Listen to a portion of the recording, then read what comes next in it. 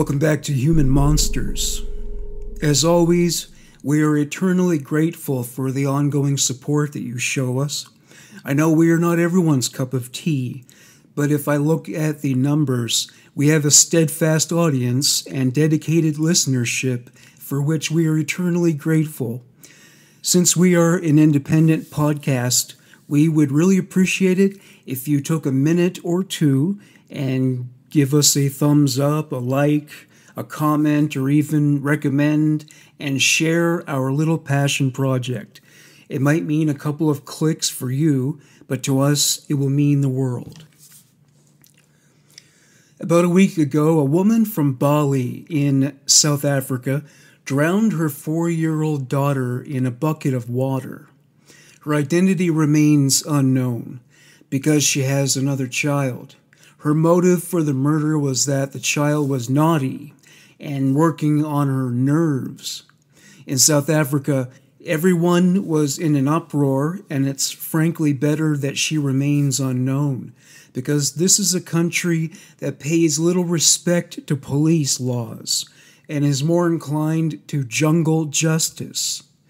I agree that there should have been better ways of handling the situation by giving the child to a relative for a while, but it got me thinking about why women kill their children.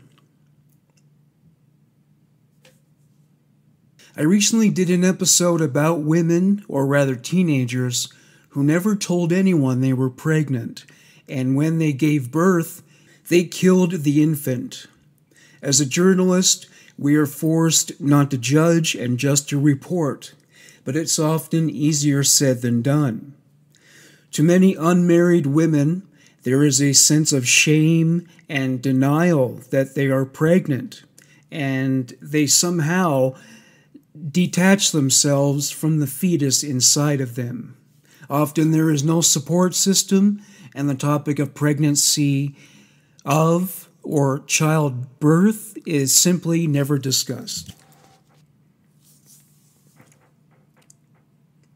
Many countries still have strong religious and cultural beliefs and believe that a woman that gives birth out of wedlock is dirty, spoiled for marriage, and a disgrace to the family.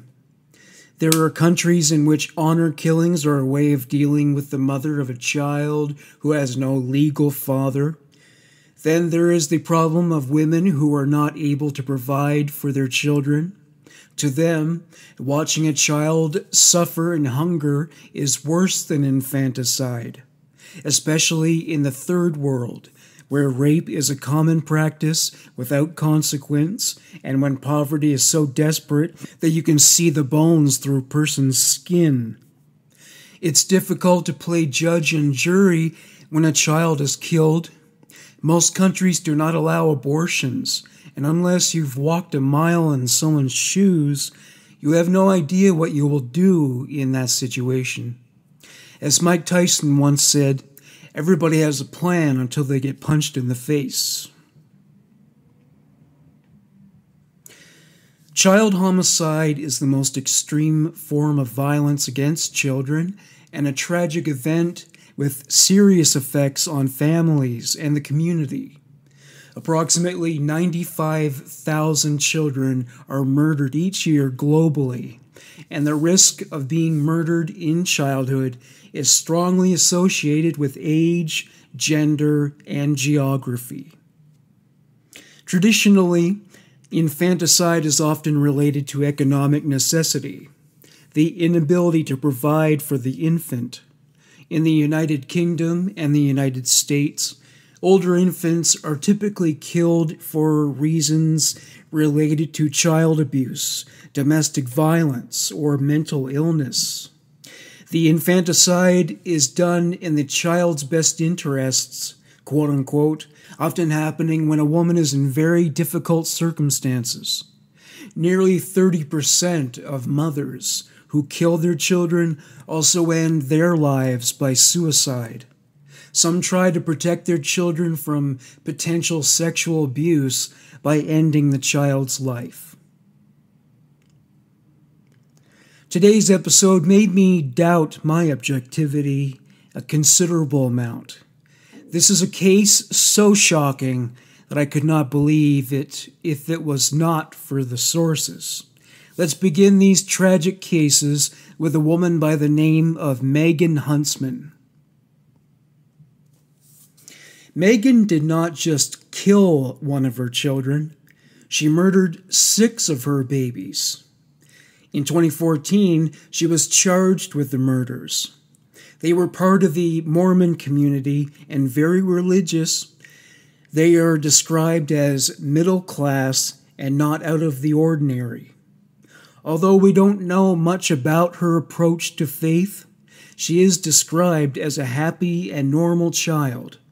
She was, however, a very private person and would keep secrets to herself. She was shy and introverted and lacked confidence, which made her a quiet child. Megan did, however, have a close friendship group and would have sleepovers, but she kept herself very private. No one knew what she was thinking or feeling and she would draw into a shell of her own making when people tried to probe her. This personality would follow her into adulthood. This seems to be the case with many women who kill their babies at birth. They were completely normal women with average lives, support structures, and no reason to not just hide the pregnancy, give birth in secret, and then kill the baby. Megan did have one confidant by the name of Darren West. He was older than she was, but all we know is that she was in the same school. Darren was a bit of a bad boy who frequently got into trouble. He was often late for school. Sometimes he did not even show up, and he loved to party, drink, and smoke. Megan was attracted to the rebellious side of Darren, and soon the two opposites started a romance. By the time Darren was in college and Megan had just graduated high school, the relationship had become so serious that he proposed to her. In April 1993, the couple got married since Megan was of age. Despite being so close to Darren, Megan kept one major secret from him, and that is that she was pregnant. He was the father of the baby, but for some bizarre reason, she never told him. It might be because she was only 18 years old, but she was married and had her family for support. She managed to carry the baby to full term without anyone knowing. It's true that some women cannot show for a long time, but even at nine months, there had to be questions. She did keep to herself and wore baggy clothes, but Darren must have suspected something. A week before she gave birth, she sprung this monumental news on Darren. A couple of days later, she gave birth on her own in her home in the bathroom. The family finally found out, but what their reactions were, no one knows.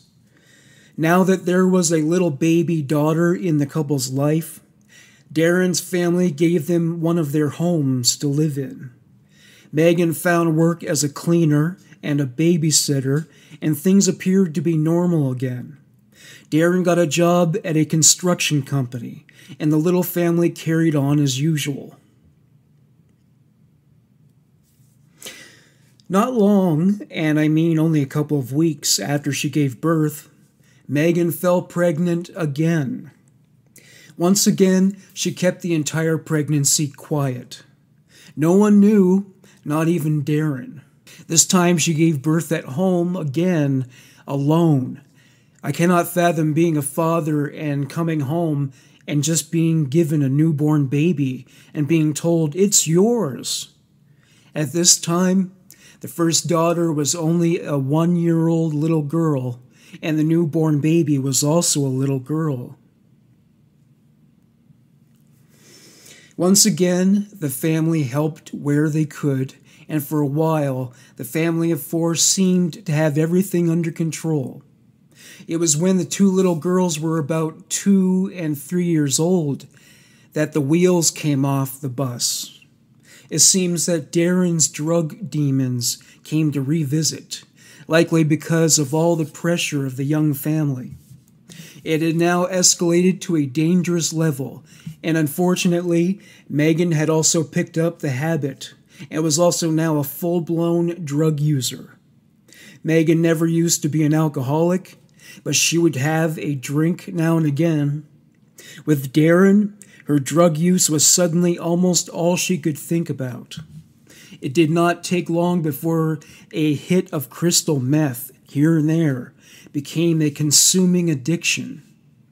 Both were spending hundreds of dollars a day on meth, and both eventually lost their jobs. Darren then got the bright idea to not only manufacture meth, but also to sell it from his home. This way, they always had drugs for themselves, even though toddlers were still in the house. Both were not only neglectful of the children, but became aggressive and violent with the children.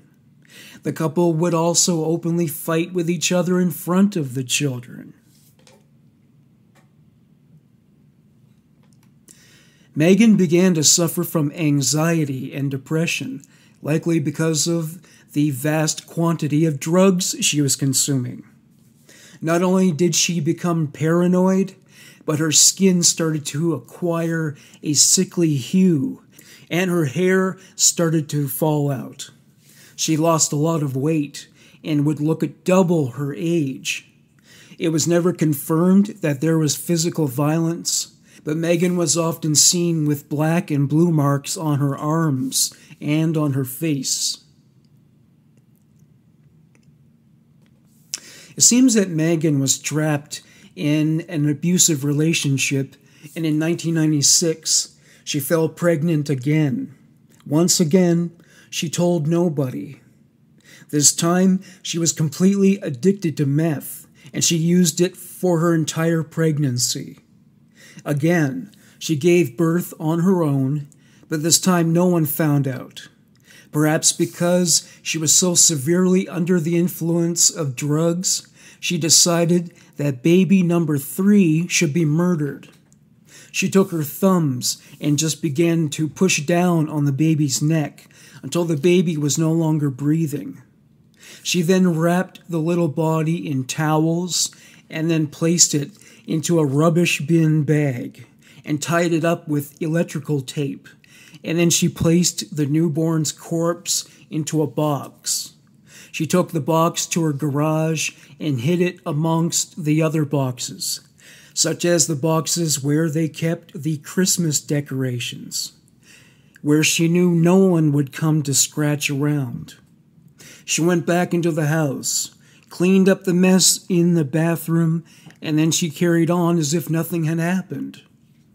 It is mind boggling to think that Megan not only could commit homicide, but also keep it to herself and carry on with her life.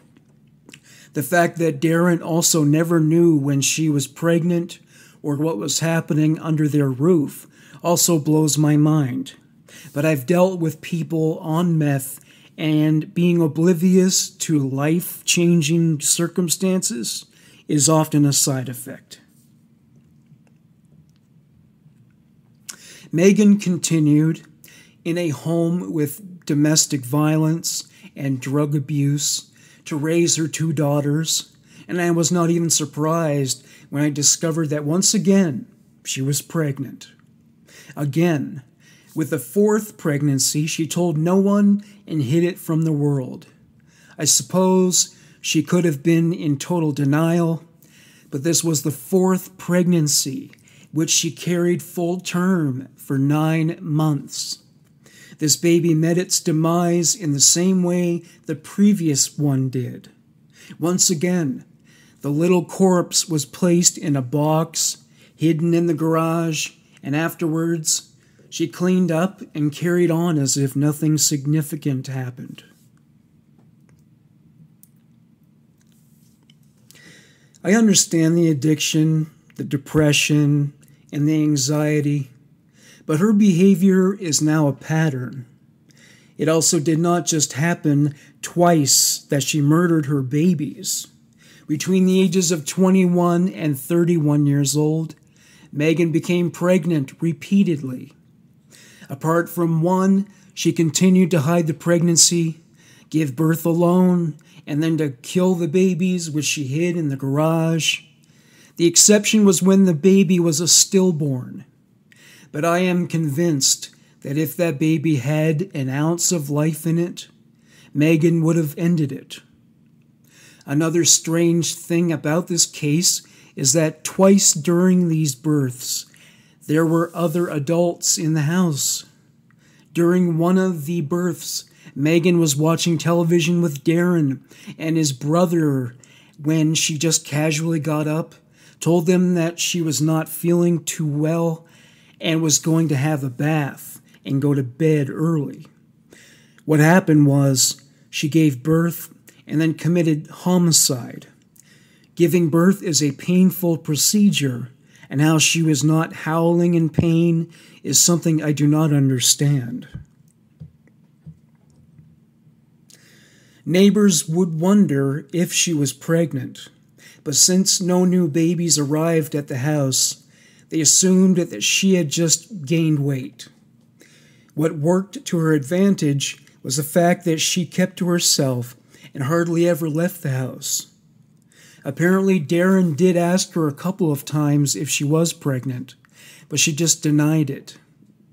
The times when she was convinced she was pregnant, he would ask Megan what happened, and she would just lie and say she lost the baby.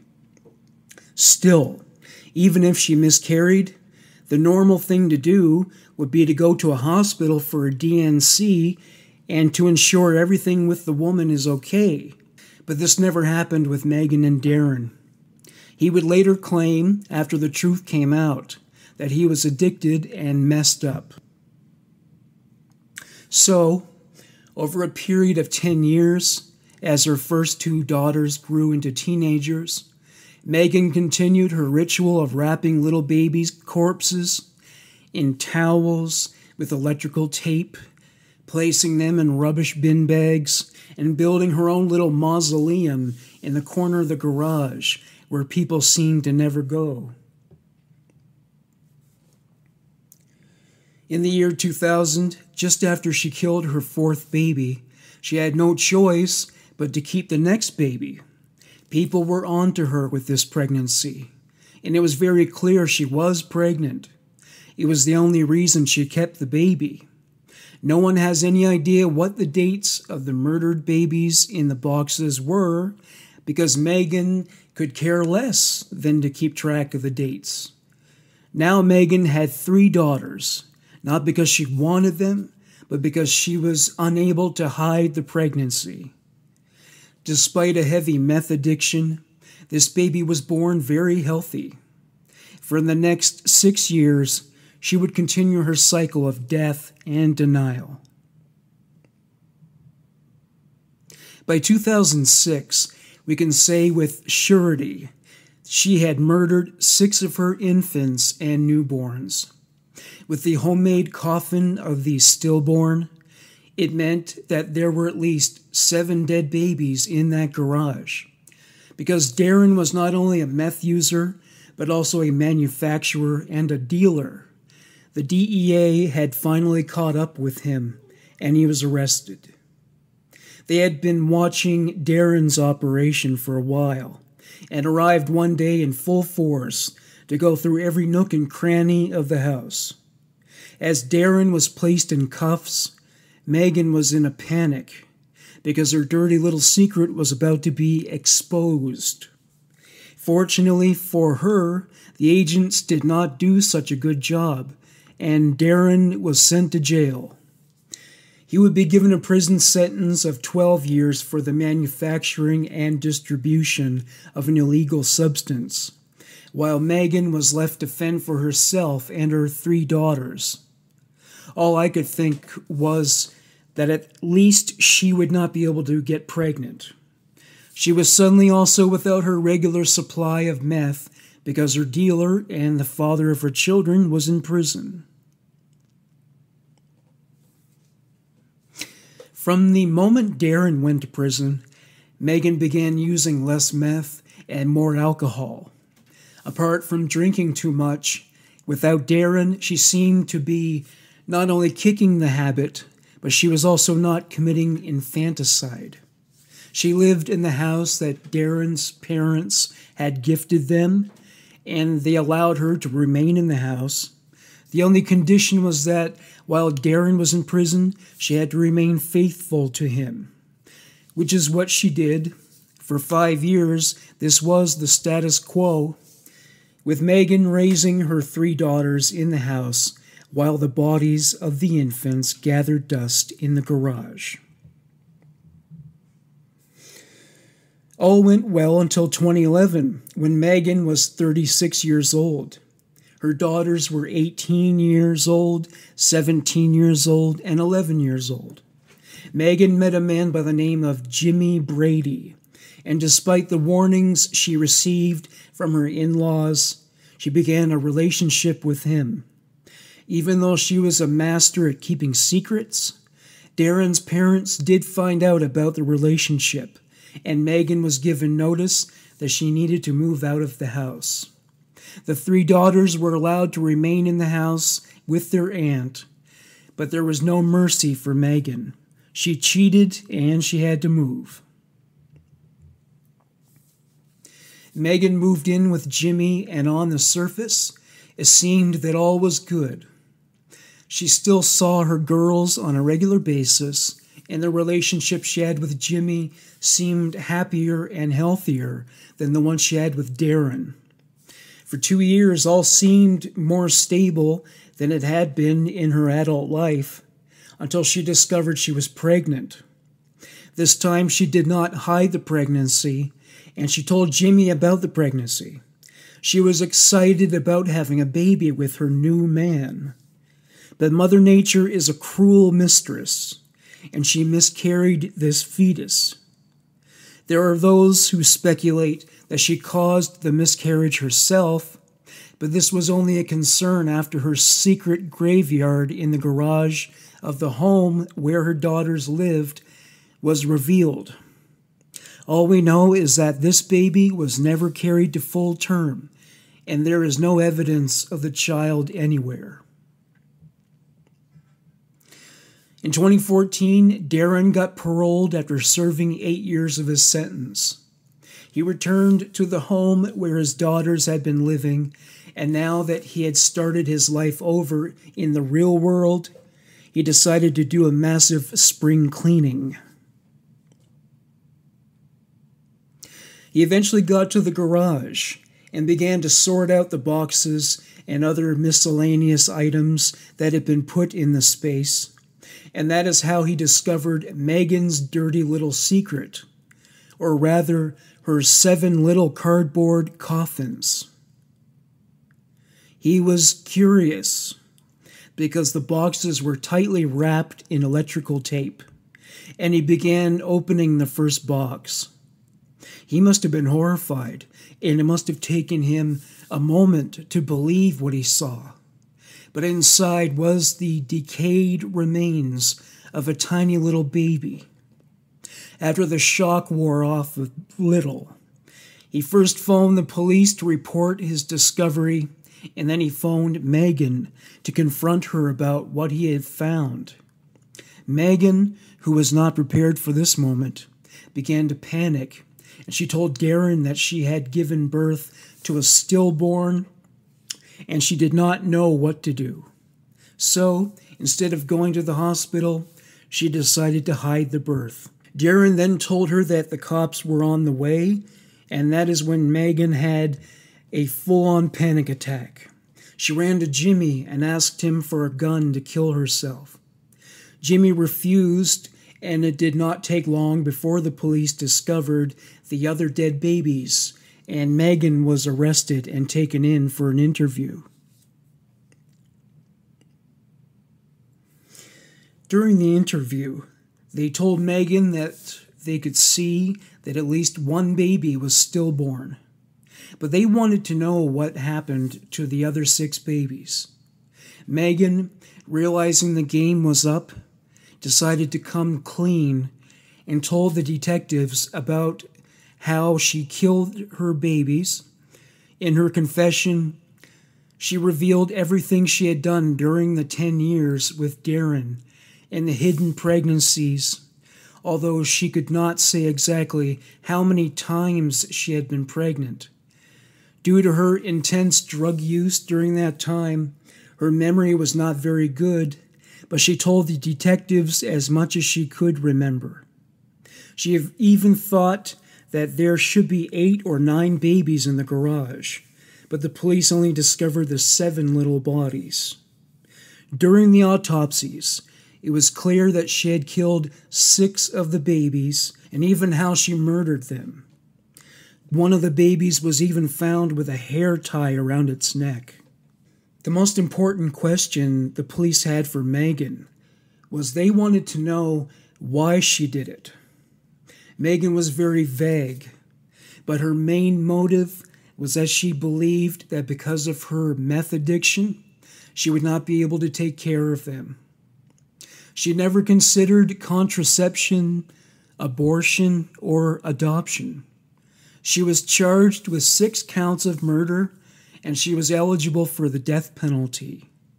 She had no defense and pled guilty, which led the judge to sentence her to 30 years to life.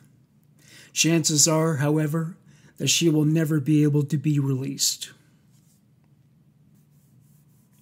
Another similar shocking case is the case of Erica Murray in Blackstone, Massachusetts. In her case, it was not just murder, but incredible neglect that had her case make the headlines. When I first came across this case, I found it also unbelievable. But imagine you are a husband and a father, and one day you discover you not only have the children you know of, but under your roof, in a spare room, is a severely neglected three year old child and a six month old baby that is yours. Erica had given birth to these children, and she had chosen to lock them in a room and hide them away from the world. The conditions are horrendous to describe.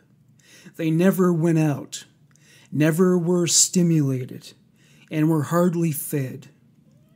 Apart from the children, the only other object in the room was a mattress on the floor. The entire room looked as if it had been painted from floor to ceiling with shit stains. The children were completely nonverbal and obviously and obviously had never had a bath. Erica, who was born in 1983, had a normal and happy childhood. She grew up in Northbridge, Massachusetts, and was a carefree and happy child. She had two brothers with whom she had a great relationship and was well taken care of by her parents, Kevin and Sharon. Kevin was very handy and a mechanic by profession, and Sharon was a housewife. The kids spent a lot of time outside, especially in the summer, and the close family took a lot of trips and went on vacations. She did well academically and had a close circle of friends. She took a lot of pride in her appearance, and everything about her childhood is the all American kid's dream. Erica did, however, have an incredible fear of abandonment. No one to this day understands why but she always had a fear of being judged and abandoned, especially by her family. When she was 16 years old, she got a part time job with McDonald's, and very quickly, she got the attention of a much older man who also worked there, Raymond Rivera the third, who was seven years older, which made the relationship very inappropriate. He pursued her with vigor, and soon they were dating. A year after they started dating, at the age of 17 years old, Erica fell pregnant. She was petrified about what her family and friends would think of her. So, she decided to hide the pregnancy. She did tell a close friend who accidentally let it slip one day at their home, and the secret was out. Her family was very supportive, but she did not want anyone at school to know and refused to go to her high school dance out of embarrassment. She did attend her graduation and shortly afterwards gave birth. Her parents even offered for Raymond to move in with them. Her parents offered so much assistance, and I must wonder if the age difference did not also contribute to their concern. For two years, the little family with baby Kayla lived a relatively domestic life with her parents. The one condition that Sharon and Kevin had was that she did not fall pregnant again. The couple were always struggling financially, and Erica had already begun so young to have children that they wanted her to wait. Well, guess what? She fell pregnant at the age of 20 years old. A baby boy was born by the name of Nicholas, and the entire little family moved into their own home. The house they moved into belonged to Raymond's sister, but it was vacant at the time. The three bedroom house was at 23 St. Paul's Road in Blackstone. After moving into this house, Raymond's personality suddenly changed radically. Now that no one was watching him, he showed his true narcissistic side. She was completely dependent on him, and he controlled everything. He began to isolate her and convinced her to quit her job and stay at home. He was a typical abuser and he began to verbally abuse her. He never physically abused her, but she was trapped in a home with an angry man who would humiliate her at every opportunity. He took complete financial control and ruled his household with fear. The effect was instant. She went from fashionable teenager to someone who hardly took a shower and never wore makeup in a handful of years.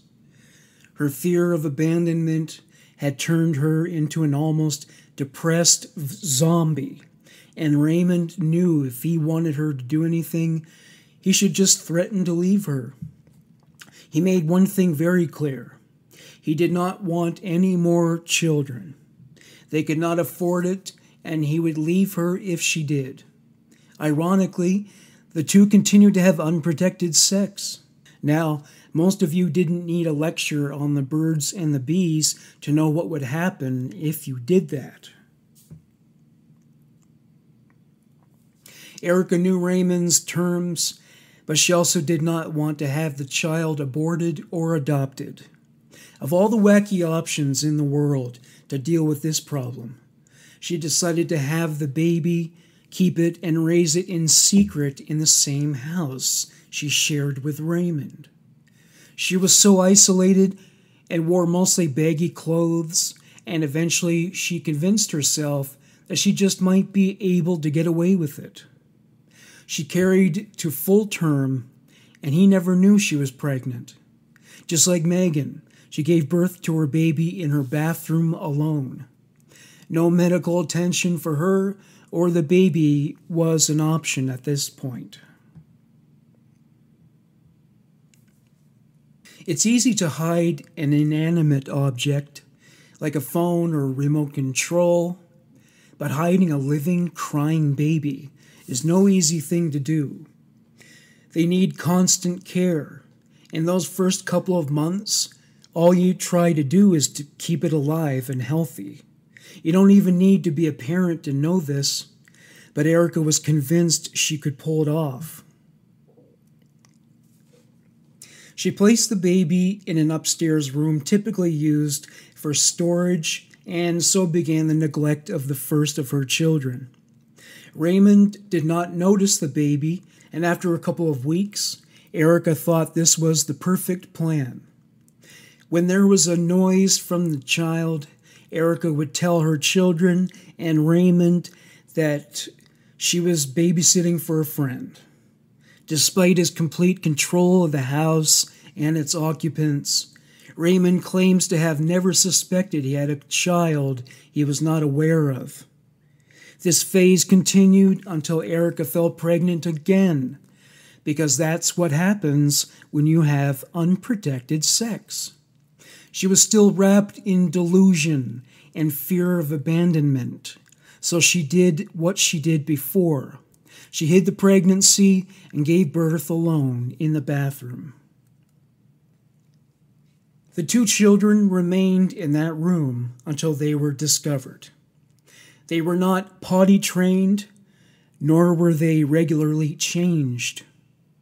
They were hardly fed and had no stimulation. To the outside world, it appeared that Erica led a normal life and was a normal mother. She might not have been able to have a real social life, but on Facebook, Photos paint the picture of an average household with average kids and parents. In 2010, Kayla was 13 and Nicholas was 10 years old, and they featured a lot. Her secret children remained her secret for three years. If you knew about the secret children, the photos of them having parties and eating out is sickening. Raymond was working for Staples, but had begun growing and selling weed on the side. He was still being an abusive bastard to his wife, and one of Raymond's rules was that no one was ever allowed to visit their house. On the 27th of October 2014, Erica and Kayla were out of the house for the whole day. She went to her neighbor, Betsy Brown, and asked her to keep an eye on Nicholas. The 13 year old boy was friends with her son, Pete, so Betsy did not mind. Nicholas and Pete were playing outside when Betsy decided to go to the shop. While there, she got a phone call that would change the lives of everyone in her neighbor's house. When she picked up the call, her son was frantically shouting. We can't get the babies to stop crying. This was all he shouted repeatedly, which confused Betsy.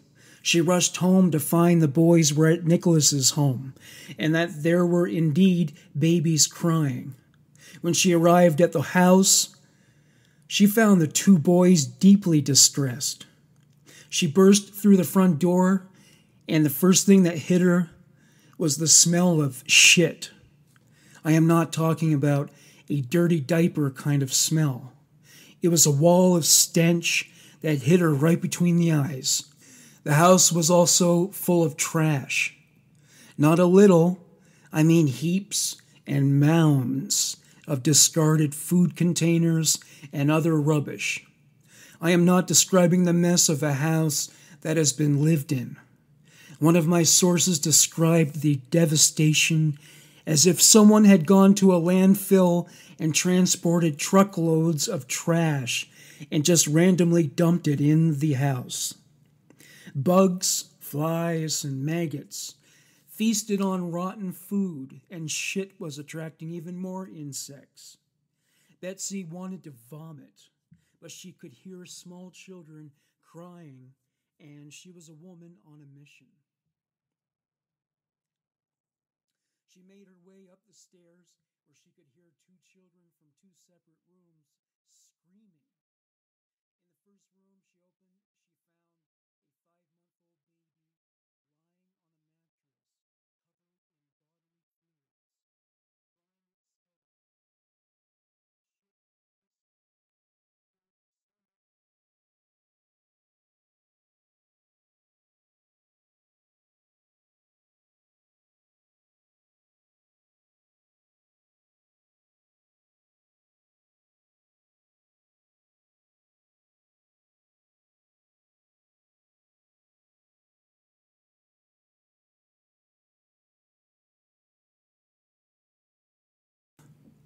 Both rooms had the same amount of trash the rest of the house held.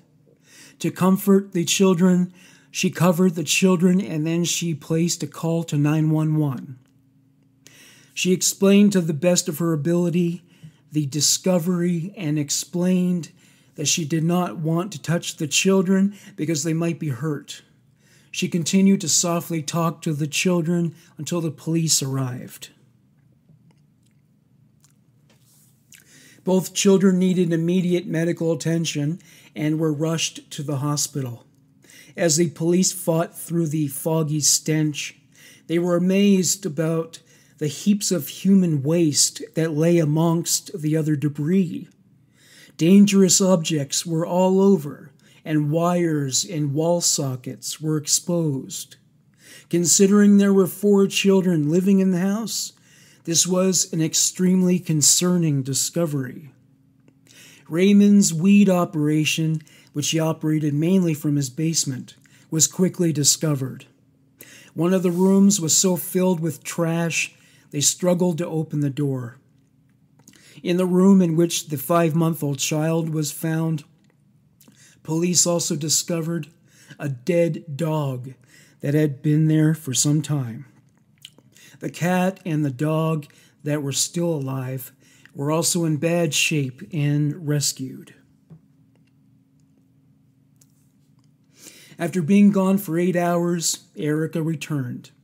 An officer approached her and asked her where she was, and she, in a deadpan face, told them she had things to do. CPS quickly removed the remaining children, to which Erica had no reaction. All she asked for was for the police to be careful because her cat was an indoor cat. At the police station, she calmly confirmed that all four children were her children and that Raymond was the father of all four. She told the police that Raymond did not know about the babies, and she told them about his desire not to have any more children after the first two. She was asked for the names of the two babies, but Erica had never named them and referred to them as it. At the hospital, it was determined that both babies were suffering from malnutrition. They were extremely dirty, sensitive to sunlight, and had never been potty trained. Their skins were blistered, and maggots were found in their hair and ears. Neither child knew how to interact like a regular baby. They were terrified of people, and because the five month old baby had delayed movement, the back of her head was flat from never being picked up. The three year old could not walk, and she was unable to do basic things, like drinking from a cup. Neither had been ever bathed, and neither child knew how to communicate. Neither fortunately had any life threatening conditions, but they were nonetheless in a very bad way. If anyone in the house asked about the sounds, Erica would say she was babysitting for a woman named Michelle Ridgway, whom she completely fabricated. She even made a Facebook page for her. The profile pic of this fake profile was Erica in a wig and glasses. Raymond did indeed know nothing, despite his controlling ways. How he did not know is still a mystery. He denied being the father, but a DNA test did confirm he was. He hardly ever went anywhere in the house except the basement, and the shock turned him into a crying heap. Erica, on the other hand, seemed unaffected. She was bailed out and continued posting on social media. People began digging into her posts and found she often posted her outrage about parents who were not good parents. On the 10th of September 2014, police returned to the home. Conditions inside required they wear hazmat suits, and inside Kayla's closet, police discovered two boxes with blood soaked covers. Both contained the skeletal remains of babies in worm seeds, with a full head of hair and another skeleton of a dead dog. In Nicholas's closet, there was another baby corpse, but this one still had its umbilical cord on and was naked. This baby was found in a backpack, and tests would later reveal that all three were born alive, and the oldest had survived and the oldest had survived till the age of one month old. Erica and Raymond were arrested. Erica was charged with the murder of two babies and the concealment of death of the third baby, injuries to a child, two counts of reckless endangerment of a child, two counts of animal cruelty, and Raymond was charged with animal cruelty, causing substantial danger to a child, two counts of assault and battery on a child, and with the weed growing operation. Both were held in jail for the five years it took for the case to go to trial. In June 2019, Erica's defense was mental illness and spousal abuse and diminished capacity to think. She suffered from depression, and obviously, psychologists found that she did not want to deal with prison. Prosecutors shut that defense down. She was smart enough to create a fake social media profile. She was, however, not found guilty for the murders of her two little infants, but was found guilty for all the other charges. Raymond was found guilty of all his charges. Raymond received four and a half years, but was released for the time he had served. Erica was sentenced to six to eight years. Considering she served five years already, it's safe to assume she has already been released.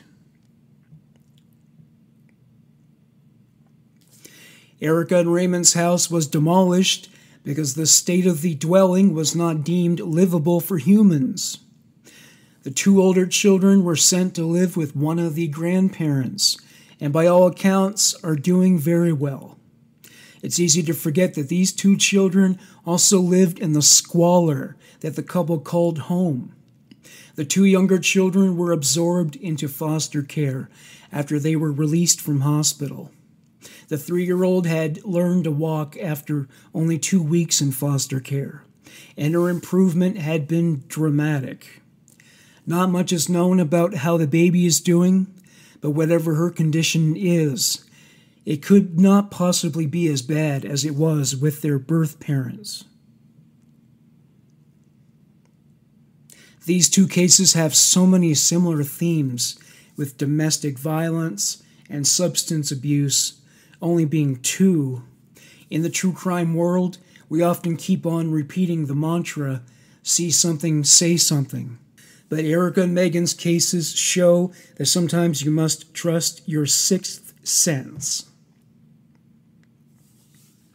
In none of these cases, neglect, abuse, or even murder was obvious, but people felt that something was not quite right. Perhaps we've become too accustomed to not intervening. Our own lives often hold enough challenges to keep us busy. But I think if you feel in your gut something involving, especially a child, is wrong, you should at least probe a little. If you don't, it might make you culpable. This episode was written by Penny Morris. Thank you for listening to Human Monsters. Bye for now.